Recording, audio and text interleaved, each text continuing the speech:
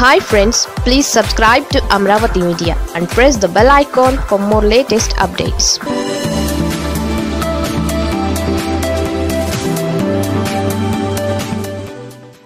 wheel చైర్లో AP మంత్రి ఆయనకు ఏమైందంటే ఏపీ మంత్రి ఆదిమూలపు సురేష్ వీల్ చైర్లో ఉన్న ఫోటో ఒకటే వైరల్ అయింది. మంత్రికి ఏమైందని అందరూ ఆందోళన వ్యక్తం చేశారు. అయితే మంత్రి ఆరోగ్యంపై క్లారిటీ ఇచ్చారు. మంత్రి ఆదిమూలపు సురేష్కు మోకాలికి సర్జరీ జరిగినట్లు తెలిపారు. మంత్రికి హైదరాబాద్ సోమాజిగూడలోని ఓ ప్రైవేట్ ఆసుపత్రిలో వైద్యులు మోకాలికి శస్త్రచికిత్స చేశారు. ఈ ఫోటో ఇప్పుడు వైరల్ అయింది. మంత్రి రాష్ట్రంలోని టిడ్కో గృహాల ప్రారంభోత్సవాల కార్యక్రమాలలో సుడిగాలి పర్యటన చేశారు.